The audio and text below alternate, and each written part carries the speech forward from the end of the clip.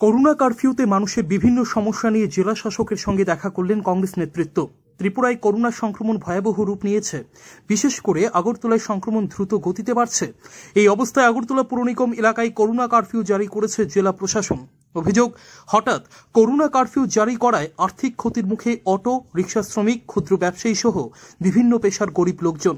তাই তাদের আর্থিক সাহায্য করা সহ বিভিন্ন বিষয় নিয়ে পশ্চিম জেলার জেলা শাসকের সঙ্গে দেখা করেন কংগ্রেসের এক প্রতিনিধি দল। নেতৃত্বে ছিলেন বর্ষিয়ান কংগ্রেস নেতা তাপস দে সহ অন্যরা। আমরা ডিএমের সঙ্গে দেখা করছি যে হঠাৎ করে যে লকডাউনের ফলে যে সমস্ত অসুবিধাগুলি হয়েছে পাবলিক ফেস করতেছে এগুলি আমরা ডিএমের নজর নিলাম। যেমন ধরেন, যারা রেশন পেতে আছে এপিএল কার্ড পাইতে আছে অথচ যারা রেশন কার্ড নাই, অথচ আধার কার্ড আছে, তারা পাইতে আসে না। ওইটা ডিএমরা করলাম।